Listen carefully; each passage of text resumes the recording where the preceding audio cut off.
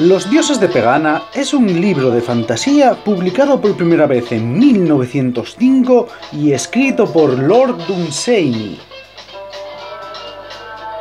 Antes de que hubieran magos en Terramar, o de que Gandalf fuese Gandalf, había escrito y trabajado Edward John Morton Drax Plunkett, también conocido como Lord Dunsany. No sé si alguna vez lo oísteis, pero Lovecraft al final de su vida despreciaba mucho su obra. Básicamente decía que todas sus historias eran una copia de dos autores, o bien Edgar Allan Poe, o bien Lord Dunsany. Dunsany es uno de esos autores que está en la base de prácticamente todo lo que vino después de él. De hecho, una tentación muy grande a la hora de hacer un vídeo o una reseña sobre los dioses de Pegana o sobre cualquier otra obra de Lord Dunsany es hacer que todo el vídeo, toda la reseña consista en frases que otros escritores dijeron sobre él. Por ejemplo, en una reseña para el Times de Los Ángeles, Ursula Le Guin dijo que Lord Dunsany había significado para ella en 1942, cuando tenía 12 o 13 años, lo que Tolkien significaría para todo el mundo 20 años después. Link al artículo en la descripción. Y si te pones a buscar, encuentras frases de este estilo sobre Lord Dunsany de prácticamente todo el mundo, de autores de fantasía de su tiempo, como Robert T. Howard o Catherine Lucille Moore, quien por cierto decía de Lord Dunsany que cualquier persona que escriba y lea cualquier cosa de Lord Dunsany va a intentar imitar su estilo y va a fracasar en ello hasta autores de ciencia ficción posteriores como Ursula Le Guin o Arthur C. Clarke, quien decía de Lord Dunsany que era de los mejores escritores del siglo XX, así en general, pasando por otros autores británicos de su tiempo como W. Yeats, eh, Bernard Shaw o H.G. Wells quien por cierto se llevaba muy mal con Lord Dunsany, porque al parecer ellos se encontraron varias veces a lo largo de su vida, fueron como medio amigos y Lord Dunsany siempre, siempre, siempre le ganaba jugando al billar. H.G. Wells tenía muy mal perder. No, no, me miréis así, esto es canon dentro de la literatura inglesa. De todas formas, todas estas citas probablemente os llamen la atención porque no habréis oído hablar nunca de Lord Dunsany. Déjame un comentario si antes de dar clic a este vídeo ya conocías a Lord Dunsany, aunque sea de oídas. Dunsany en 1905, con la publicación de este libro, se convirtió en el primer autor en escribir fantasía destinada a adultos. Esto es hiper importante por dos razones. La primera es que, bueno, Los dioses de Pegana fue el primer libro de fantasía realmente orientado a adultos. Y a ver, si nos ponemos imaginativos, podríamos decir que algunos autores de literatura romántica o gótica tienen libros de fantasía dirigidos a adultos, como por ejemplo Poe o Oscar Wilde. Porque si lo piensas, el retrato de Dorian Gray es esencialmente una novela de terror fantasía. Pero Dunsany fue el primero en escribir fantasía para adultos como su propio género. El éxito que en 1905 tuvieron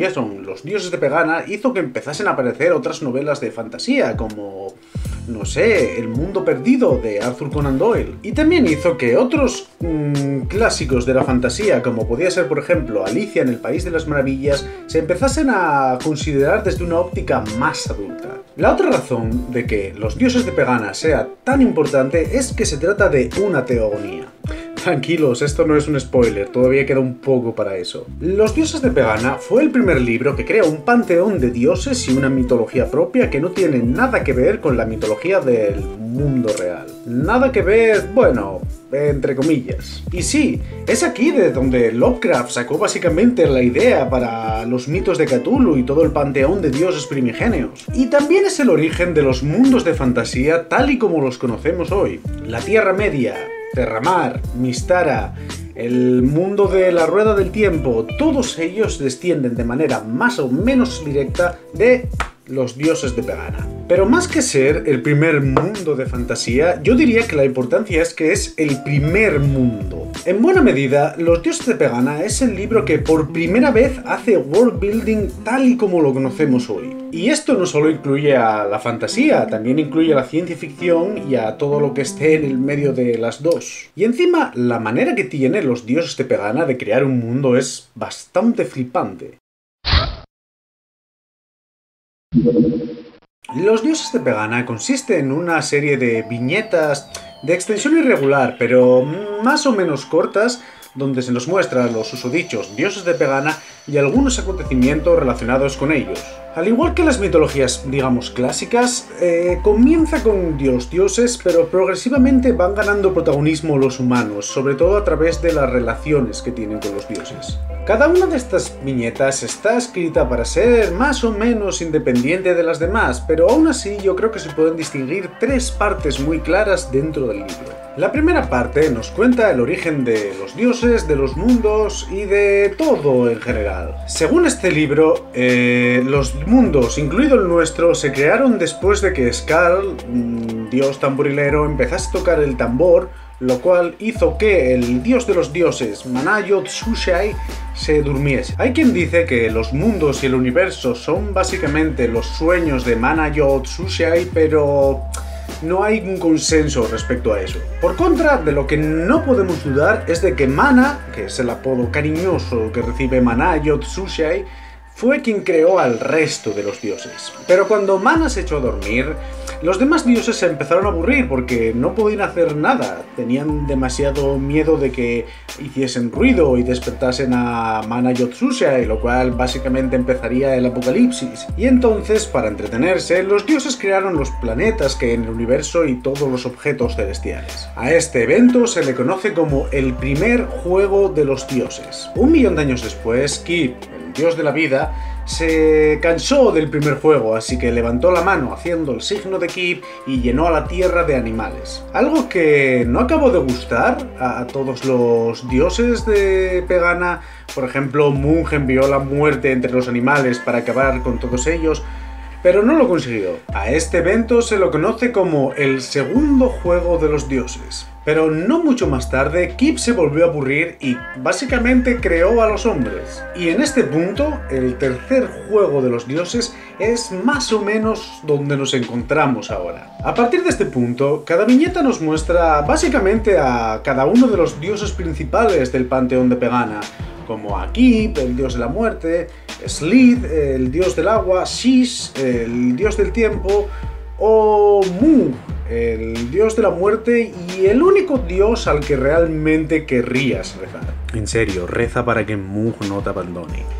La segunda parte de los dioses de Pegana nos cuenta varias historias de los diferentes profetas a los que los dioses hablaron de una forma u otra. A través de ellos vamos viendo cómo los dioses se relacionan con los humanos y cómo se creó, digamos, la institución o la religión organizada de Pegana. Esto es un poco extraño, pero en ningún momento se nos dice el nombre de la religión relacionada con estos dioses. Como muchos sabemos, a cierto punto que la iglesia, eh, la digamos secta, se llama el templo de todos los dioses menos uno. La religión, digamos que intenta mantener un equilibrio entre los dioses y los humanos, porque los humanos por naturaleza instintivamente quieren aprender algunos secretos de los dioses, pero para evitarlo, básicamente los dioses les pusieron un velo de ignorancia encima. Y podemos decir que los profetas de esta religión intentan establecer un equilibrio entre interpretar lo que les dicen los dioses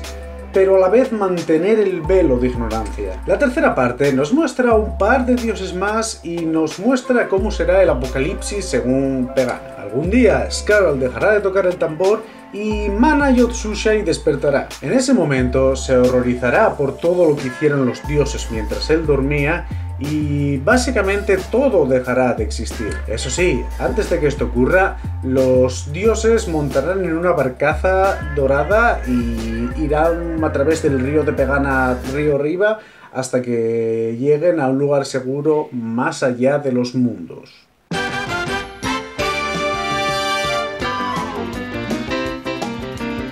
Es curioso cómo Catherine Ellen Moore y Ursula Le Guin tenían una opinión bastante parecida respecto a Lord Dunsany. Las dos opinaban que todo el mundo que escriba y que lea Lord Dunsany en algún momento de su vida va a intentar imitar el estilo de Lord Dunsany, pero nadie va a conseguir realmente imitar su estilo. Es cierto que el estilo de Lord Dunsany es muy único, muy peculiar y es muy difícil explicar a ciencia cierta cómo funciona.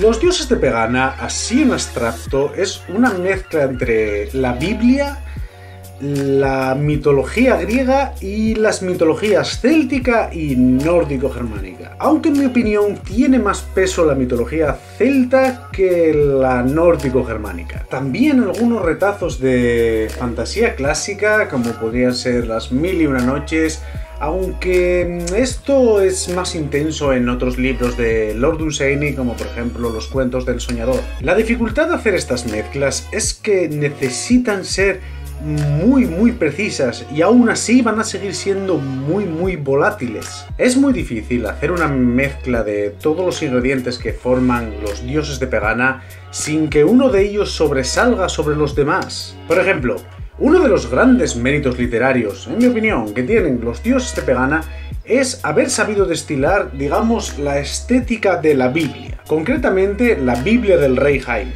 pero sin que en ningún momento el libro recuerde a la Biblia. No puede decirse lo mismo de Tolkien. Para entender mejor esto, vamos a mirar una frase del libro sacada totalmente de contexto. Es de la parte en la que se nos representa a Mung.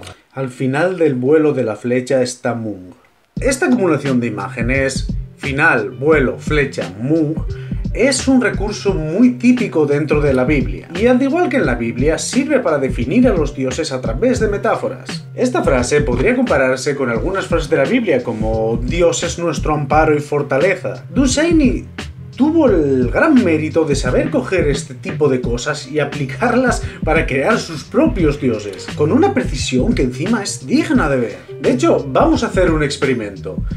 Si estás viendo este vídeo sin haber leído Los dioses de Pegana, déjame un comentario diciéndome de qué crees que es Dios Mung en base a esa frase, esa frase tan pequeña que acabas de oír. Y lo que dicen Celemur y Leguín es muy cierto. A medida que vas leyendo este libro eh, y vas viendo un poco cómo funciona, es muy tentador pensar, hey, yo también sabría hacer esas cosas. Pero es un poco como el arte abstracto. Que parezca fácil de hacer no quiere decir que sea fácil de hacer. Otra cosa que llama la atención del Lord Husseini es que lleva su estilo hasta el final, hasta las últimas consecuencias. De hecho, hay ciertas partes, hay ciertas frases de, este libro que yo creo que hoy en día cualquier editor te diría... Eh, Edward John, mírame esto, por favor. Sobre todo frases que son excesivamente largas, al estilo de los salmos, y el estilo tan denso que puede cansar un poco en las historias más largas. Un inciso, esto es una especie de característica de los autores y autoras de principios del siglo XX, tanto en fantasía como en ciencia ficción, que se te den mejor los textos cortos que los largos. Esto es algo que se podría decir también de Lovecraft, de William Hope Hodgson o de Catherine Lucille Moore. Pero bueno, Dunsany muestra tanta confianza en su propio estilo que es muy fácil ignorar los puntos donde este chirría un poco. No es algo que te saque de la atmósfera que crean los propios textos. Por último, decir que Lord Dunsany es uno de esos autores que vas a empezar a ver por todas partes cuando lo lees. Es lo que tiene ser uno de los fundadores de la fantasía y la ciencia ficción modernas, supongo. Cosa que contrasta mucho con lo poco que se habla de él hoy en día. De lo malo malo, en su país, Irlanda, se... aunque Dunsany no estaba a favor de la independencia, se lo considera uno de los principales autores nacionales de su tiempo. Y eso es algo que tampoco se puede decir de Tolkien. Soy Miguel Luis Álvarez y gracias por ver este vídeo. ¡Hey! Si te gustó este vídeo, te animo a que le des like, te suscribas a mi canal y me dejes un comentario. También puedes compartirlo en tus redes sociales y si lo haces en Twitter, no te olvides de mencionarme link a mi Twitter y a mi cuenta de Goodreads en la descripción. Y bueno, esta es la parte donde respondo a preguntas que me deja la gente en comentarios, así que si quieres que te responda alguna pregunta relacionada con el canal o conmigo, supongo, pues déjame un comentario. ¿Mm? Vamos a ver lo que tenemos hoy. ¿Te has desencantado de algún autor a cada libro que leías de su obra? Ah, yo no soy muy de leer eh, muchas obras del mismo autor o autora. No me digas por qué, a mí me gusta más como ir saltando de, autor a autor. Lo cual no quiere decir que no haya leído mucho de algunos autores, por ejemplo, he leído mucho de Ray Bradbury, he leído mucho de Le Guin, he leído mucho de William Gibson, pero bueno, el no leer eh, muchas obras seguidas de un autor suele hacer que no me canse. De hecho, la única vez que me cansé de un autor mientras lo leía fue de China Mayeville, por leer La ciudad y la ciudad. Eh, lo dejé a la mitad en su día, aunque creo que tiene que ver con que lo estaba leyendo en inglés y me costaba mucho seguir la trama, así que lo dejé ahí. Igual lo acabo pillando en castellano y seguro que me entra mejor. ¿Qué conoces de ciencia ficción latinoamericana?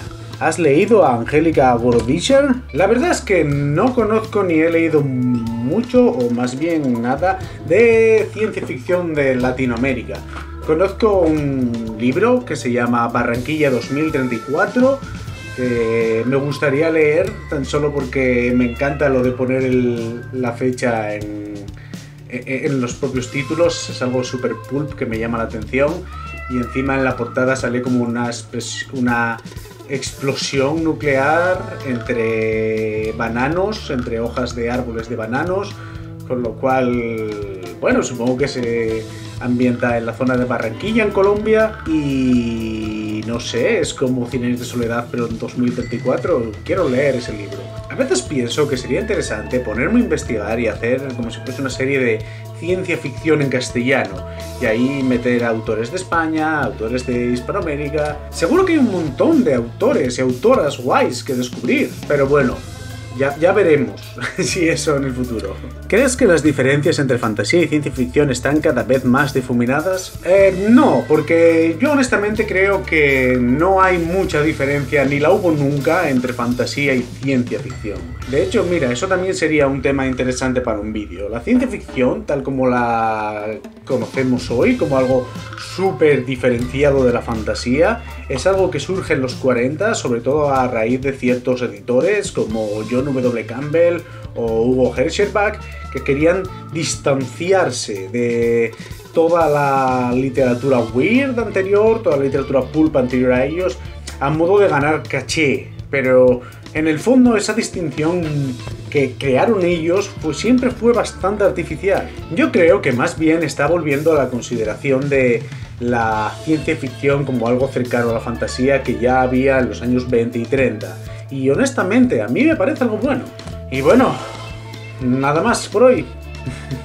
si quieres que responda alguna pregunta tuya, déjame un comentario. Y poco más que decir. Hasta la próxima.